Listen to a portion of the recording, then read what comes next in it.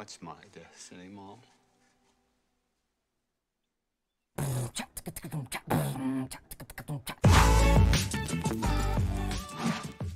Hey up troops, welcome back to the Litanah Army, I'm Litz and this is Fortnite Save the World and what I want to do today is check out again Ragnarok. Now some people have been asking for me to focus a little bit more on the actual setup that I have for my hero. So if you've got a hero, you know what are good tactical um, tactical slots and support slots for said hero. So for Ragnarok, when I use Ragnarok, I tend to use uh, Shuriken Master Sarah.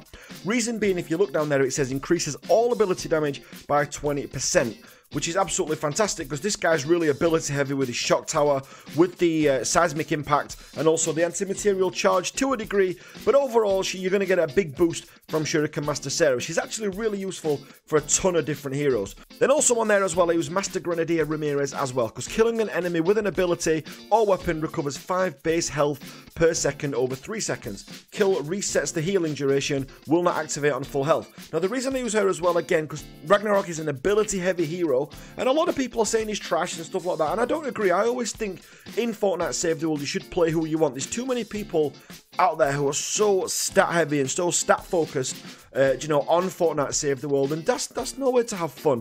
Do you know, I don't I don't come to play a game to, to play maths. Do you know what I mean? I want the game to do the math for me, and then what I actually want to do is just play the game and have fun. So if I've got a shotgun, can I blow a husk's head off with it? That's all that I want to know. I don't need to know any more than that. Does it work well?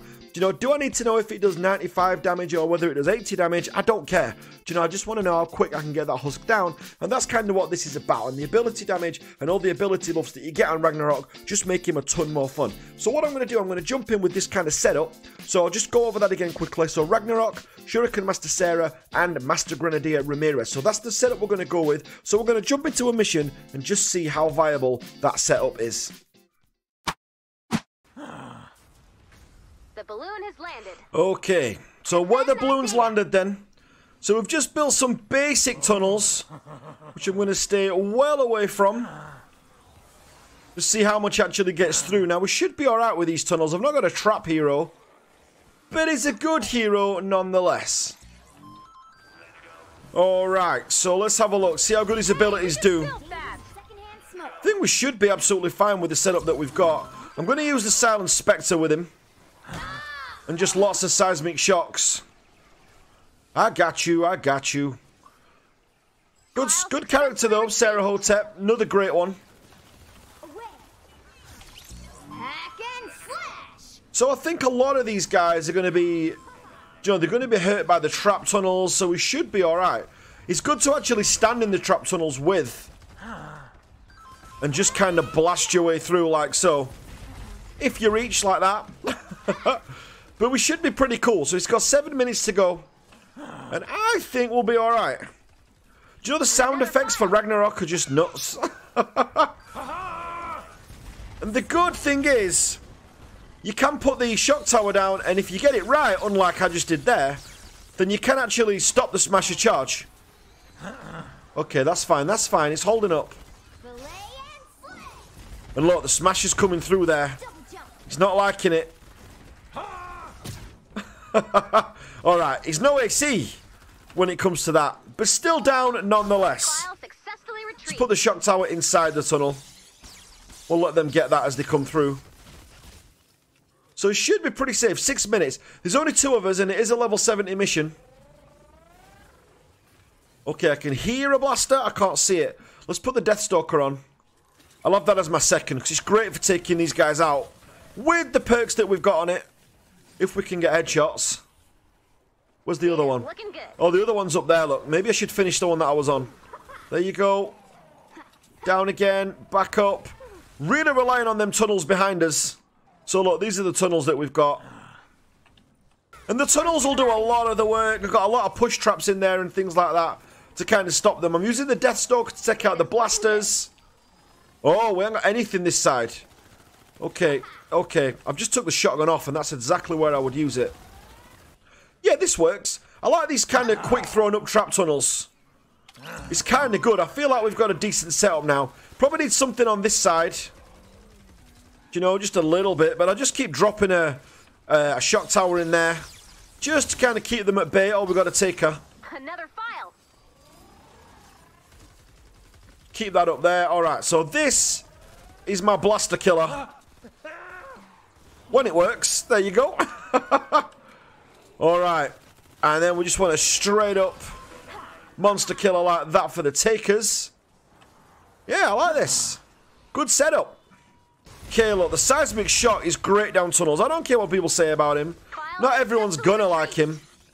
But he's really good when it comes to things like that. Spectre, there you go. They just melt when it comes to Spectres. Alright, so far we're doing so good. Shouldn't be out here. This is the one of the worst places I could stand.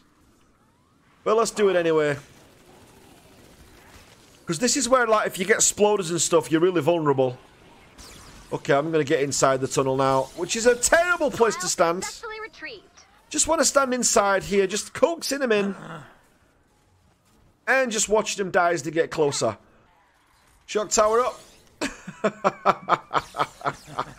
Alright, and the shock tower's great looks. His ability damage just does so much. Let's have a look what we can find. Now, we've got a Sploder. May as well shoot his tank from out there, from that range. B-dudes, never like you guys. Run away! Damn it, why did I do that? I was trying to use the grenade as if I've got a, as if I'm using the urban assault. There you go, look, seismic shock just takes loads of them out. What are you doing? No! Alright, here we go. So things like that, you just look for where the biggest waves are and just drop your shock tower. So you know they're going to come down here. So just leave it there and just let them try and get through. Just try it, dudes. Oh, alright. See the exploders at top? So you want to kind of let them go through. Now the seismic shock doesn't explode their exploder tanks. Which is good. So you got to be really careful with that. Put the shock tower there for when they come through. Safety. Safety first. Wow. Alright, and the shock tower died. Never mind. It's okay. Oh, they're on the top. I've just seen them. They must have jumped up. They're the little jumper guys, look. Clever. Clever dudes, clever. Kind of wasting mats now because we don't need to build here. The threat's kind of at the other side now. Uh. There you go, shield that. Whoa, nice! Love Dragon Slash. Sarah Hotep's kind of a copy, or it's a kind of, a complete copy of Dragon Scorch. But it's nice, you know, she's not left. Oh, I say she. I automatically just put the character with whatever they're playing. So if they're playing a female character, you just assume it's a female, which it probably, 90% of the time, it just isn't. but I'm just going to pretend it is, whatever. There you go, one seismic shot. And look at that ability damage. Absolutely nuts.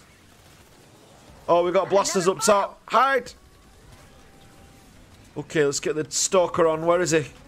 Pop your head over, I dare you. Alright, he dare. There he is. And that's all I really use that for, you know. You can use a seismic shock down the tunnels, which is great. Was that a taker? It is. I'm not ready for you. I'm not ready. Alright, he's dead anyway. I think she took him out for me.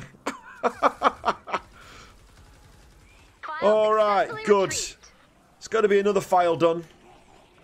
Blue's just in there, look. It's not even very well protected. But because we're using the skills in the right way, we're safe. She down? Oh, bee dudes. Yeah, they're not good. Look, I'm in. I'm actually in the bees getting you up. Alright, I'll crawl out of the bees.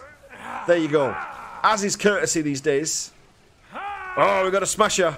Shock tower down now. You don't have to do it that early. He's already down, look. Already down. Double jump. Perfection. Good. You collected all of the files. Amazing. Praiseworthy job. All right, so that was Mummel Play. Good I wonder if Mumble Play's got a YouTube channel or something like that. Sounds like it. But I do like it when you meet nice people in there. It's been hard, you know, recently. I actually found it hard to record this morning because, stupidly, and I never normally do this, I went on Reddit. And Reddit is a great way for any YouTuber, no matter who you are. You can try and be a nice guy about it if you like, but Reddit will punish you. You know, Reddit will hit you hard uh, when you try and talk in there. And it's difficult, you know. There's a lot of haters in there. Do you know what on Reddit? What I find is most of the people on there are actually really nice, and they've got really nice things to say about the video and things like that. The Let's Play Reddit is absolutely phenomenal. You know, them guys are so nice in there. And I used to get on really well with everyone in the Paladins Reddit. The Fortnite Reddit, though, the, to- the toxicity? Toxicity? I don't even know what the word is. But basically, the, the toxic uh, players that are in there, they're so vocal and so aggressive. And stupidly, I opened up some dialogue with one of them.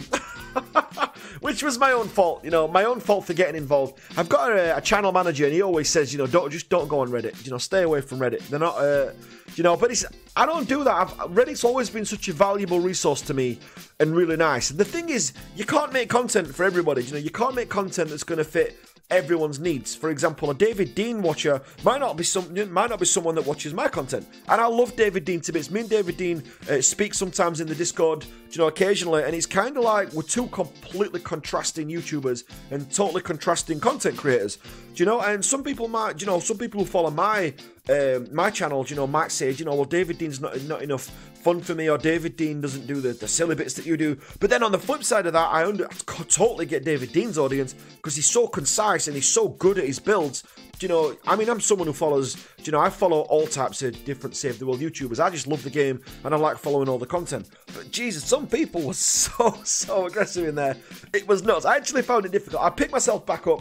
I actually watched the Jacksepticeye therapy thing. Do you know where he goes to therapy? Because he's struggling with motivation. And it kind of picked me up within the first like two or three minutes because watching that guy is just like phenomenal. Okay, quick then, let's just quickly run down the rewards. So we've got Hero XP, we've got Reaper, we've got Gold, we've got 99 Gold. We've also got on there Mist Monsters, the quest, which we've got another 100 Gold in there. We've also got Killer Storms and, oh, even more Gold, which I definitely wanted.